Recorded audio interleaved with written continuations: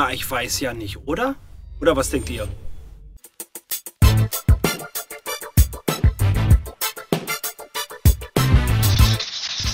Tornado Stream! Hallo und herzlich willkommen zu einem Tornado Stream! Wir sind wieder beschäftigt mit das Callisto-Protokoll, The Callisto-Protokoll, genau. Und zwar zeige ich euch in diesem Video, ich habe mir gesagt, so nach dem ersten Durchlauf, mh, hm, ja, okay, die ganzen Trophäen sind irgendwie cool. Aber da werden wir den letzten Gegner auf schwer besiegen. Dazu zeige ich euch erstmal hier Gameplay, Schwierigkeitsgrad, Hochsicherheitstrakt haben wir ausgewählt. So ist auch mein Save, weil ich habe mich durch das ganze Spiel durchgequält. Das Problem ist, oder war, es gab eigentlich einen Glitch, da konnte man das Spiel einfach auf einfach starten, durchspielen und auf schwer und dann hat man die Platin-Trophäe bekommen. Ist aber nicht der Fall bei mir gewesen. Ich musste leider mich da echt durchknüppeln. Also egal. Zurück und jetzt gehen wir in den Save. Und fangen an. So, wir befinden uns hier schon im Spiel. Es kann sein, dass ich jetzt schneide, weil das ist ein bisschen lästig. UJC Druck wünscht Ihnen einen United Tag. Das ist gut, danke für diese netten Wörter. So, wir haben jetzt hier Sachen zum Verkaufen. Wir werden uns erstmal schön ordentlich Kohle anleiern. Da ist auch wirklich der Tipp von mir, um gut durchzukommen. Spart, wo ihr könnt. Also wirklich nur ein bisschen die erste Waffe upgraden, dann die Schrotflinte und dann kauft euch das äh, MG da, dieses Gewehr. Habe ich nämlich jetzt. Und jetzt kaufe ich mir von den restlichen Geld, weil jetzt kommt nur noch der Endgegner. Das werde ich jetzt schneiden. Nur Munition, nichts anderes.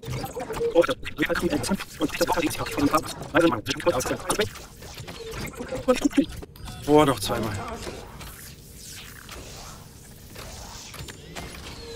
Abgeschlossen. Abgeschlossen.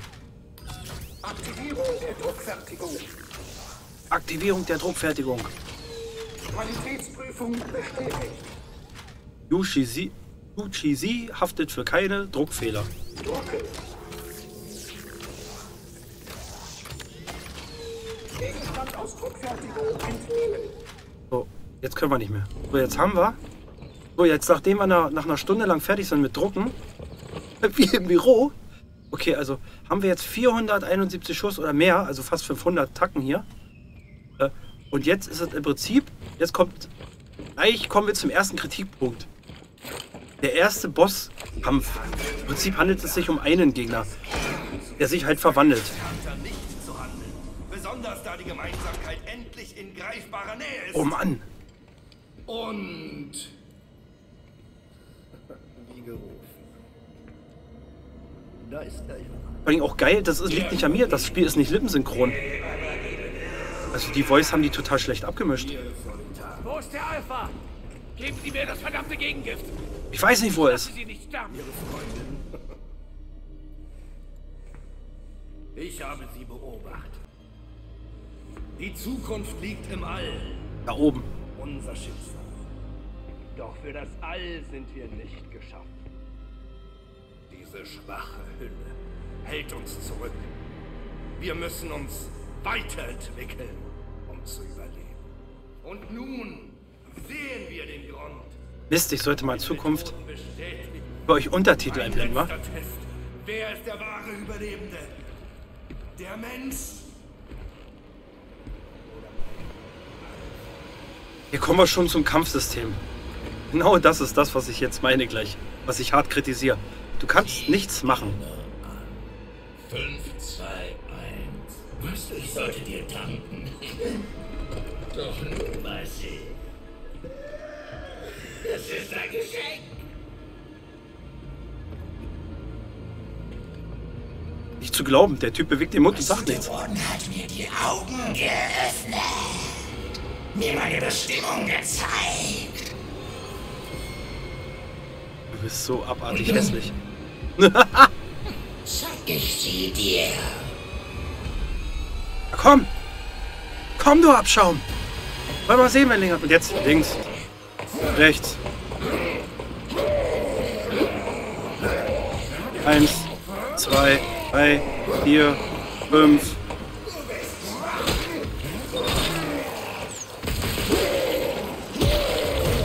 Okay, vergesst das, Leute. Also Fakt ist, das war jetzt schlecht gemacht. Ihr müsst immer nur ausweichen. Das ist alles. Ihr müsst noch nicht mal, ihr müsst noch nicht mal drauf achten, wann er das macht. Es reicht wirklich, einfach nur den Stick in die linke Richtung zu halten. Schaut her. Es ist wirklich egal. Du musst noch nicht mal das Timing haben dafür. So, jetzt aber besiegen wir den mal.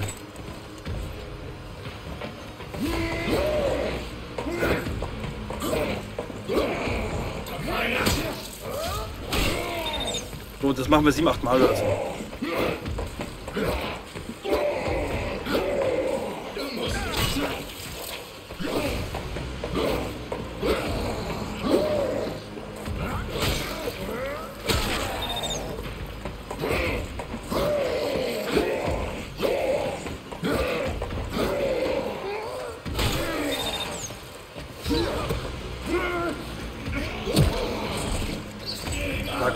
Sowas von langweilig eigentlich. Tut mir leid, ich wollte eigentlich gar nicht so hart haten, aber es geht nicht anders.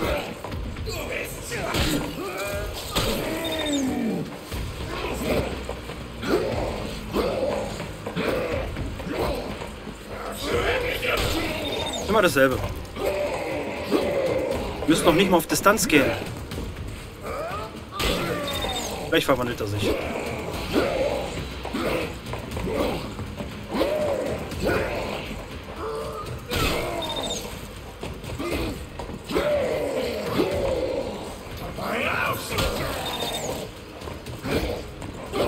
Man das einmal durchschaut hat, ist das wie als ob man auf einer Schiene fährt.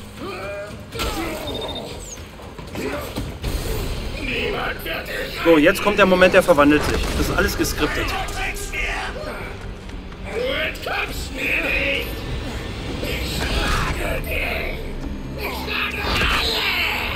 Ja, du bist der Beste, der Besten, der Besten, Sir. Mit Auszeichnung.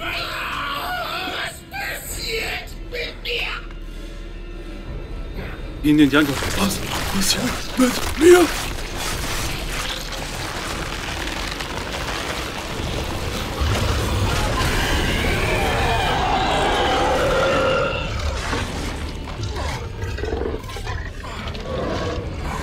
Schöner Typ bist du. Yippie, Schweinebacke. Alles hat seinen Preis. Ja. 1,99 bei Lidl. So, jetzt geht äh, ein Gebäsche los. Jetzt müssen wir rennen.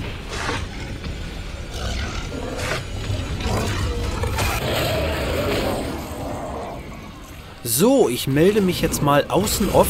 Das musste ich leider machen. Sieht euch mein Gesicht an. Ich bin sowas von konzentriert. Das ging gar nicht. So, zur Taktik. Wir müssen quasi immer über Kreuz laufen und vorhin weg. Hier zum Beispiel über die Mauer. Und jetzt seht ihr genau in diesem Beispiel, wie ich auf die andere Seite renne. Denn es ist wichtig, dass ihr, ihr müsst versuchen, den Abstand zu bewahren zum Gegner. Und aus der Entfernung greift ihn dann einfach an. Und greift euch immer wieder auch mal diese roten Kanister, denn die dienen als Explosivgeschoss. Hier gleich zu meiner Linken sieht man so eine Säule. Da könnt ihr auch gut drumherum wandern, aber wie gesagt, immer schon über die Mauer drüber. Achtet auch auf diese kleinen Gegner, die da kriechen, dass ihr die abschießt und nicht drüber laufen, weil die explodieren. Und dann nehmt ihr nämlich Schaden, so wie in diesem Beispiel. Hat mich einer erwischt. So, wieder voll eindecken. Immer schön über die Mauer. Und das geht jetzt die ganze Zeit so um diese Säule. Im Kreis. Abstand halten, auf ihn schießen.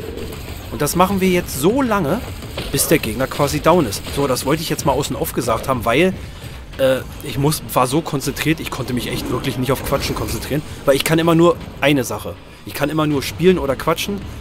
Wenn es aber zu hart ist, kann ich nicht mehr spielen. Deswegen habe ich das mal so gemacht. Also, lasst ihn uns besiegen, den Gegner.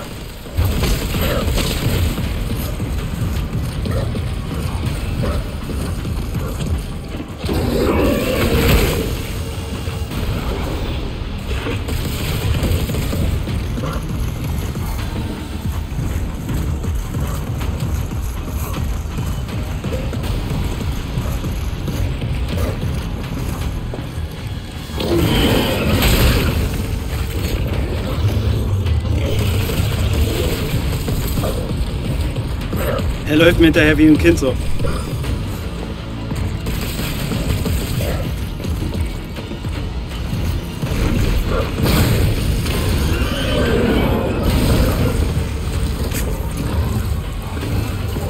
Nebenbei mal aufladen, wenn ihr, wenn ihr Zeit habt.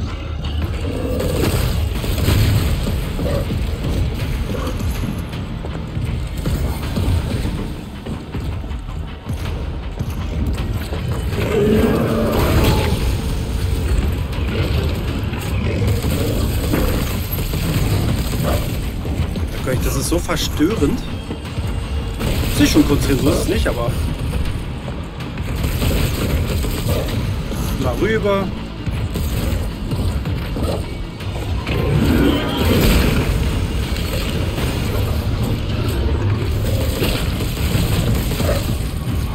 Ich laufe eigentlich immer nur von links nach rechts.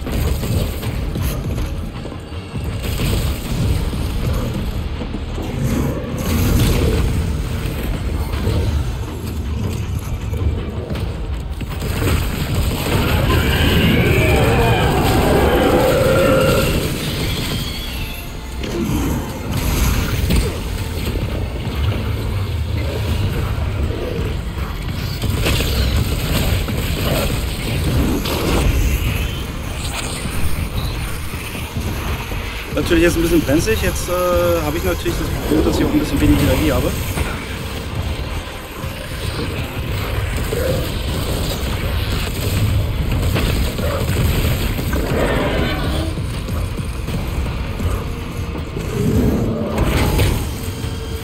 Jetzt habe ich eigentlich ein Problem. Man könnte es locker schaffen, aber ich schaffe es nicht locker.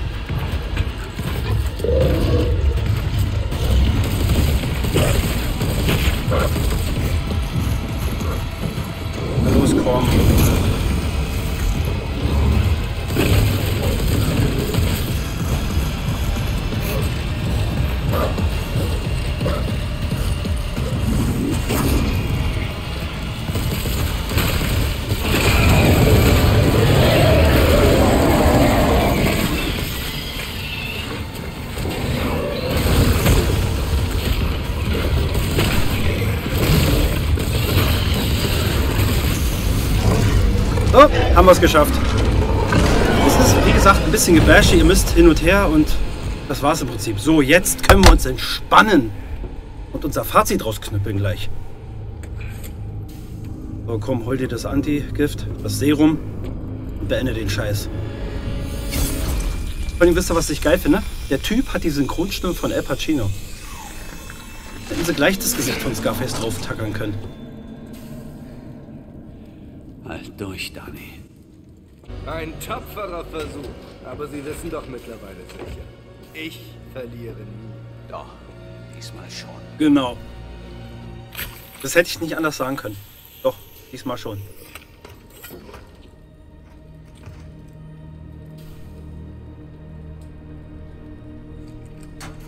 So eine Verschwendung. Alles nur für ein Leben. Glauben Sie nicht, dass Sie uns aufhalten. Die gesammelten Daten werden die nächste Phase des Protokolls einleiten. Und was Sie angeht, Selbstzerstörungssequenz eingeleitet. auf Nimmerwiedersehen, Miss Nacker. Und Mr. Lee, hoffentlich hat es Ihnen in Black Iron gefallen. Move, move, move, overhead. Los, Mann. Was ist das denn? Scheiße. Konjo, nur eine Kapsel?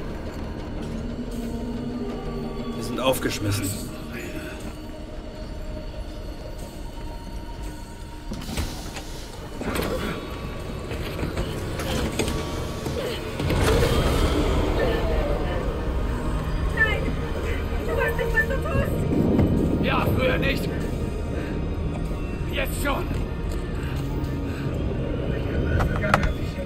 Brauch nichts mehr machen. Was willst du damit sagen? Das war's. Es tut mir leid. I'm so sorry. Alles. Tu es nicht.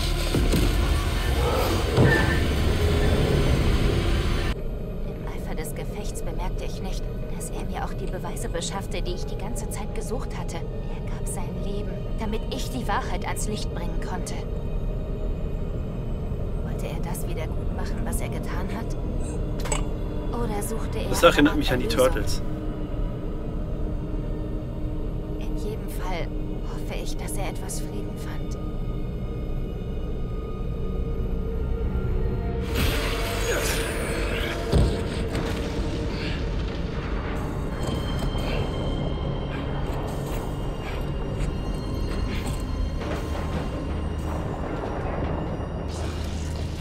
Jacob, vielleicht können wir doch entkommen. Oh, möglicher Teil 2.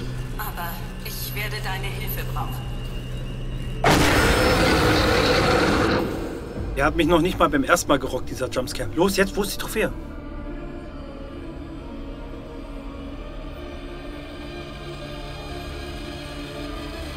Ey, wo ist denn die Trophäe jetzt?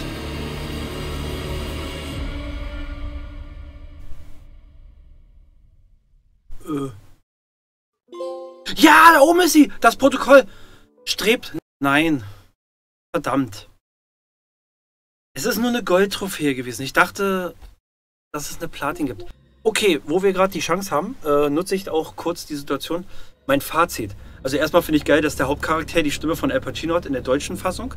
Was mich nervt, sind, dass halt äh, es nicht lippensynchron ist. Und dann muss man sagen, ganz schlimm das Kampfsystem. Das Kampfsystem ist wie ein Magnet. Zum Beispiel, ich weiß, dass hier der Mitentwickler, der Entwickler bei Dead Space 1 war.